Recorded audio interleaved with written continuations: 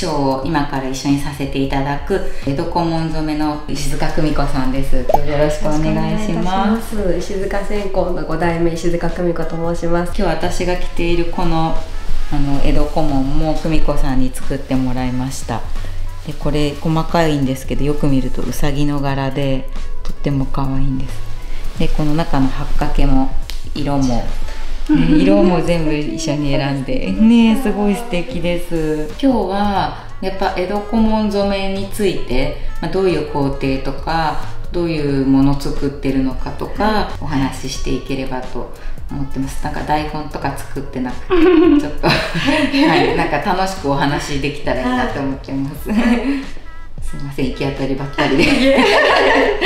スムーズに答えられる頑張ります。お願いします、はいまず、えっと、久美子さんは、えっと、江戸小紋染めのやられているお家に生まれたって感じですよね。はい。もともとやろうと思ってました。小さい時からもう絵がすごく描くのが好きだったので、うん、工場で遊んで、高校生ぐらいの時にもなんか家の仕事いいなって思ったりもしたんですけど、やっぱりこう自分が絵が一番好きっていうのがあったので、あの美大受験を目指して、じゃあ就職活動するっていう頃になった時に、父で4代目なので、4代こう続いてくると、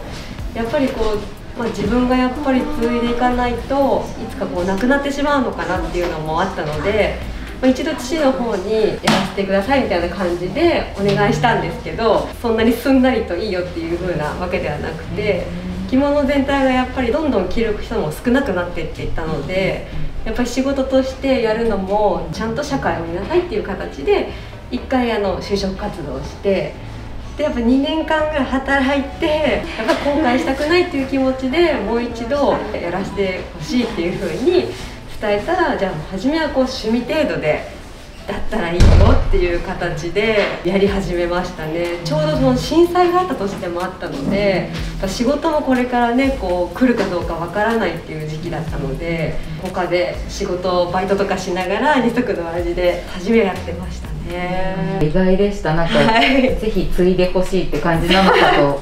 勝手に思ってました。そうですね、うん、まあ本当職人さんもこう男性ばっかりだったので、うん、自分も今やってみて、まあ、工場も暑いし、うん、冷房の環境とかができないあの作業の場所もあったりとかで。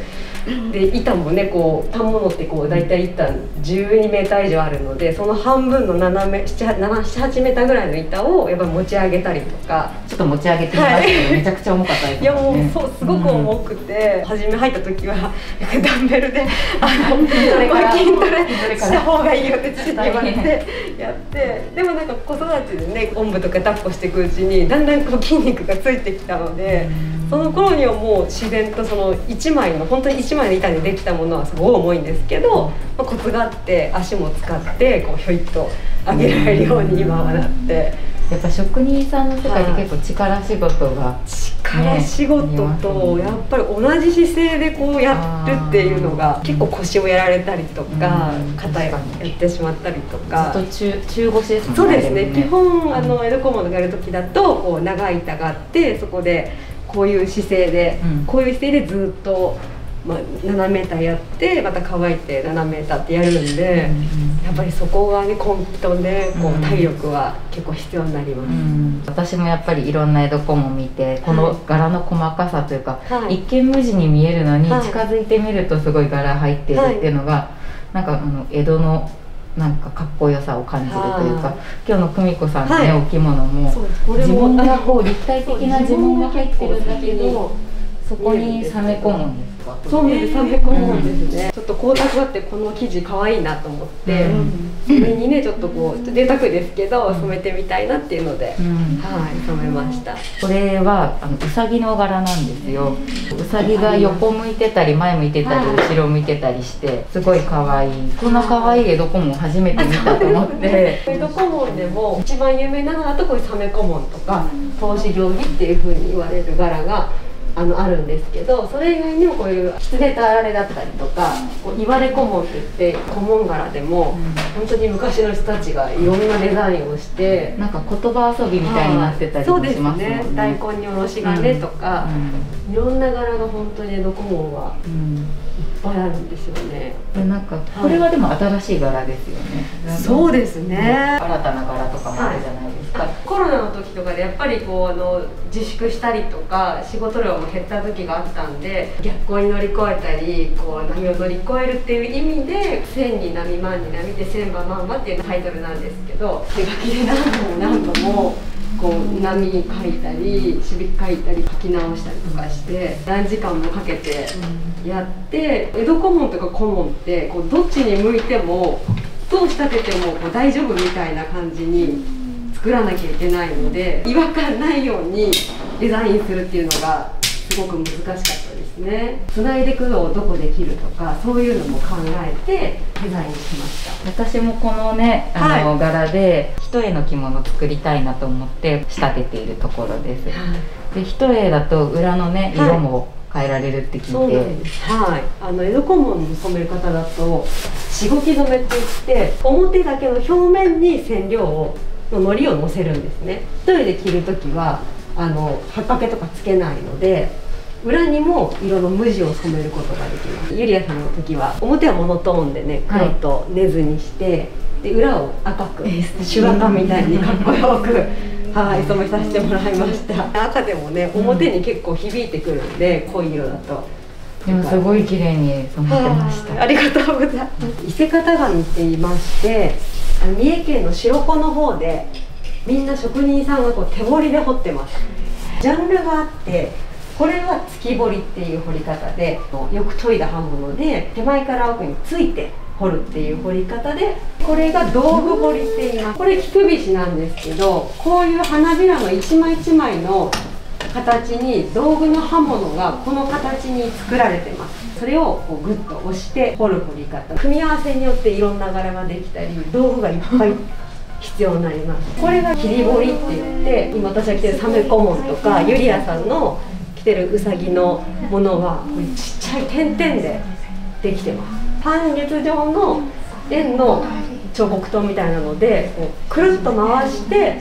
掘ることですごい切れ味が良くなるんですよ。これはほとんど無地にしか見えないんですけど極雪輪って言って雪輪の中でも一番細かくて円もすごいちっちゃいので島盛りは定規を当てて引いて掘ります。これ今糸が入ってるんですけど糸が入ってない状態だと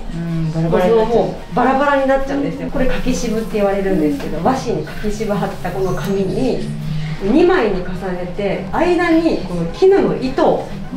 入れますぴったりこの島が2枚と1枚と1枚がぴったり合うように入れるっていうのを糸入れっていうんですよ。島を彫る職人さんと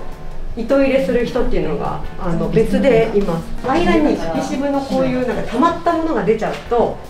それも染めムラになっちゃうのでそれを女性の方がこうふーって優しい息で拭くことで男性でなく女性であのでやるっていうので糸入れはあのずっと女性がやってるって言われてます。江戸のおしゃれって大体やっぱり写真禁止令のおかげで生まれたおしゃれがすごいたくさんあるなと思ってて、はい、京都とはまた違った、あの着物のおしゃれ江戸のおしゃれっていうのは制約の中から生まれたっていうのは結構面白いなって思います。一般庶民の人たちは茶とか根津愛などそういうあの落ち着いた明るすぎない着物を着て楽しむっていうので四十八茶百根ず48に茶色に100に根ずからも伊勢の職人さんだったりとか。あと染めの職人さんも無事にムラなく染めるっていう技術をまあ、その頃は当時はたくさん職人さんがいたので腕を競い合ってこういう細かい柄とかがこう生まれて発展してったっていうふうに言われてます、この細かい柄作る方が圧倒的に労力かかるし大変だしむしろお金かかりますよねね、写真禁止です逆ですよね。逆ですね。逆に今も考えるとね、今の時代だと本当に贅沢ですよね。贅沢ですよね。染料もグラム単位まで測って、やってるとか思ってなかったんで。お客様からこのこの色に合わせてお持ちの何かの生地なるべく近づけるんで必ず自然光で見るし冬とかも夕方暗くなったらもう色は作らないでしてるんですけど最後の方はもう薄い色だともう赤とかも12滴とかそういうレベルで色をなるべく近づけるようにしてます。私もこの色をね決める時すごい悩みましたもんね、はい、そうですね、うん、色の見込みて画面で見ると自分でも分かんなくなっちゃって。また柄がねこう白で点々で入るとちょっとその色でね無地の色で見るのとまた変わってくるので、その辺はちょっとお任せいただいて、色味を出して染めさせてもらいましたね、うん、片梅っていうロゴがあるんですけど初代が梅次郎さんだったんですけどその屋号が片梅っていう屋号でおじいちゃんとかの前はもっとこう20枚の型を重ねて染めることでいろんな色と柄がお花の柄でも芯が違う色だったり芯だけの型とか花びらだけの型とかそういう大きい柄も結構あったのでそういうのを眠ってるのがたくさんあってもったいなくてこの江戸小紋とは違うあの柄だったり自分のこう色とか感性を出せるブランドでこう片梅っていうのを作っていて。こっちの波の黒い帯とかは凹凸がボコボコしてる黒に銀でつけてあるんですけど日本画とかでも使う銀泥の粉にあの特殊なバインダーを混ぜて伊勢型紙で型付けしていくことで染めではあるんですけどちょっと織りとは違ったこう風合いの立体感のあるあの帯を作ってみたりとかこれ桐一松っていう江戸小紋の柄と島の柄とこれは亀甲っていう柄の組み合わせでなんかこう夏の時とか浴衣とかに合わせて和装でも洋装でもいけるようにこうショルダーつけてこう普段普段の洋服の時はショルダーバッグにしたりとかこうあのちょっとこのチェーンこの紐を外してチェーンとこれだけで浴衣で持ってみたりとかカジュアルな着物とかにもいいかなっていうのでこういうちょっと作品もちょっと自分の感性を出しながらデザイナーさんとコラボして作ってみたりとか。ドコモンってこう本当にこれつなぎ合わせるのが難しくて。これサメコモンのもうちょっと細かい中ラメって言って。これ十字みたいな。あそうです。これお召し銃って言われる道具彫りのものになりますね。点があるんですよ。この飛び出たところと出たところを合わせるんですよ。上にも4つここにも点があるんでこの後ろに片付けしていった後ろの部分にこっちの点がここに合わせられるようになってるんですね。この4点が合わないとこれがここちょっと白くなっちゃったり中に入って潰れちゃったりっていう風に綺麗に染まらない。ですそういうところをあの 13m 分あの毎回毎回注意しながら染めてあとはそのさっき木のヘラみたいなの持ってたんですけどその木のヘラの使い方もやっぱりこの力の入れ方を弱すぎるとこの防線のりが下りないしそこがムラになっちゃうんですね全部。やっぱり手染めなのでどうしてもムラができてしまうのでそういうのはなるべくできないように片付けするんですけどムラができたところは地直しで調節してやっぱりそれが全部地直しまでできるっていうのがやっぱ江戸古本の職員さんが立派になれたっていうところになりますね。お父様の江戸古門と、ご自分の江戸古門の違いといいますか、はい今後お父様を沿っていくのか、はい、自分はまた違うことを考えてらっしゃるのか、はい、すごい欲張りなんですけど、うん、両方行きたくて、うん、自分のこう創作的な部分も、やっぱりこう出したくてでもやっぱりその芸術的にはこっちもやっぱりできることで父のその仕事をそのまま受け継げるっていうのがあるんででもねその両方ができると多分もっとすごいものができるんじゃないかなっていうのでそういう意味ではいつか父が超えられたらいいなっていうふうに思います。